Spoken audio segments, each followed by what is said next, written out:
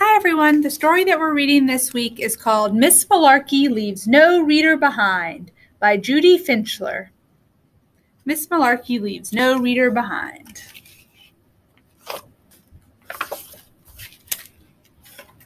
It's the first week of school, and this year Miss Malarkey said our class would be doing the Everybody Reads in America program. She thinks that reading is about the finest thing a person can do, and she promises to find each of us a book we'll love before the end of the year. Our school is supposed to read 1,000 books by June 12th. Principal Wiggins says that if we can read that many books, he will dye his hair purple and sleep on the roof of the school. I'd love to see that, but there's one problem. I hate reading. In October, Miss Malarkey gave me a book of scary stories. Like scary stories. I like video games, and so do my friends. Adwin is from Senegal. He doesn't speak English very well yet, but he really likes math. Sam is good at lacrosse. Jamal likes to draw. Me, I like aliens, race cars, funny books, chewing gum, hot sauce, and doing cannonballs at the pool. They should write a book about me. A picture is worth a thousand words, dude. What good is a book for? It has no good numbers. Miss Malarkey handed out a list of books that somebody said we should try. Fifty nifty books for November. The school year is going by fast. It's already December. Everybody is reading. Everybody but me and my friends. We walked by Susie Kurtz Marin. Her backpack was so crammed with books, she looks like she was going to fall flat on her back. What's in the backpack? I asked. Rocks? I don't want to read some book about dead baseball players. Where are the books with pictures? No, books with good numbers. We saw Larry Stork reading a book on his way home. He walked right into a telephone pole.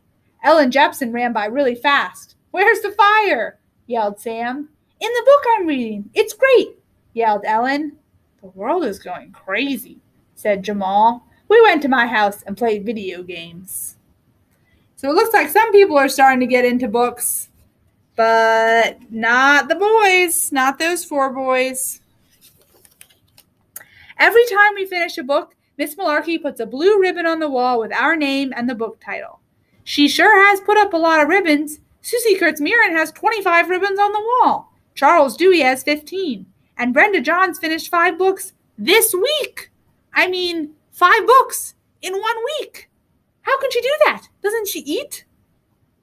Miss Malarkey keeps giving me books. She says she'll find a book for me if it kills her. I don't want her to die, so I told her I'd keep trying. When I tried to read one of them after I played video games, I fell asleep. It's February now, and Miss Malarkey is still trying to find a book I'll love. She gave me a fantasy book, but the names were confusing. Some guy named Legolam or something. I think his name is Legolas. That's what they're saying. I think she tried to get them to read The Lord of the Rings. In March, Miss Malarkey gave me a book of jokes, but I'd heard them all before. Hang on, hang on. Did you read this one? It cracks me up. Uh, yeah, that's a good one, Miss Malarkey. In April, she tried a book of poems. I don't know what she was thinking. Miss Malarkey doesn't give up easily. The fairies never dance by day, for night is best, they think. The fireflies turn on and off, twink, blinkety wink. And he's saying, ooh. He does not like poetry. In May, she gave me a book about crazy mixed up explorer guys, but I lost interest before they even set sail. Explorers are so brave, so strong, so handsome. Okay.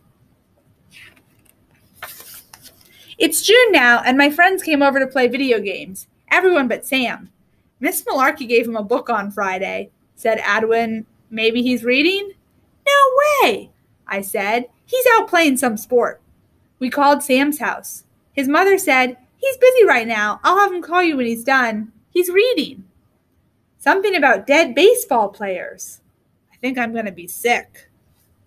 It's been months since we started the Oh Whiz, Aren't Books Great program. Miss Malarkey keeps giving me books to read, but I just don't get it. Our class has read 275 books. Our school has read 869 books. Adwin, James, and I have read zero. Video games are just so much cooler. Reading, I know how to read, but what's so great about books? One day at lunch, I sat down with Sam, Adwin, and Jamal. Adwin kept looking down at his lap. Did you wet your pants or something? I laughed. Not wet, said Adwin, and he lifted up a book he was hiding under the table. Miss Malarkey gave me this book. It's a good book about a math guy. His name's David Blackwell. That's great, Adwin, I said. You enjoy your stupid book, but Jamal and I are going to be video game masters. Actually, said Jamal, I thought that was a good book when I read it too, and I don't even like math. I like when the guy said, I like pictures, formulas, and symbols. I don't especially like them. He was a pretty cool guy. My jaw hung open. How long have you been reading books, Jamal? A while now, I guess. I didn't want to make you feel bad. See, Miss Malarkey gave me this book about a painter named Van Gogh. You know how I like pictures. This book had a lot of them. My friends read now. They still play video games, but not quite as much. Sometimes when they come over, they bring books and trade them. Sometimes they barely even play the video games. They talk about books. On June 10th, our school had a big assembly for the reading program. We're getting close to the goal of reading 1,000 books. The teacher bought a special sleeping bag for Principal Wiggins for when he sleeps on the roof of the school. The school has read 999 books. Our class has read 334. And how many books have I read? Zero. The next day, Miss Malarkey asked me to stay after school. I thought maybe she was going to yell at me about all the books I didn't finish. I tried to like reading books, I really did. I tried sports books, science books, joke books, fantasy explorer, and detective books. What was I supposed to do? When I got to Miss Malarkey's room, she had this crazy smile on her face. She said, This year I found out a lot about you. I found out you don't like girl stories, dead baseball players, and math tricks. I found out you're not mean, you don't lie, and you love video games. You like cool sneakers, your lucky number is 15, and your favorite uncle is in the army. Your mother's name is Carol, and your father's name is Bob. This year I found out even more about you. You, my boy, like aliens, race cars, funny books, chewing gum, hot sauce, and doing cannonballs at the pool. Then she yelled, have I got a book for you? I went home that day and started to read. It was the greatest book ever made. It had aliens and race cars and funny jokes and chewing gum and hot sauce and cannonballs. It even had a pool. Okay, son, turn out the light. I read th- right through dinner, and at 10 o'clock at night, my mom and dad came up to see if I was feeling all right.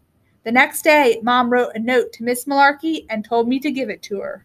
Hold on, I'm almost finished. Turns out I hadn't read the 1000th book. I read number 1001. That's okay because I got to read the greatest book ever. Miss Malarkey gave me a hug and said congratulations. When school was over, everyone went outside and looked up at the roof. We all yelled, Good night, Principal Wiggins! Good night, students, and good job. The end. I always like to read that book at the beginning of the year because I think it's a good reminder that there's a book you'll love out there. Even if you think you don't like books, there's going to be a book about something that you will love and you will love that book. I promise. There are books about everything, and not everyone likes all books, but you'll find a book that you love. All right. I'll see you next week.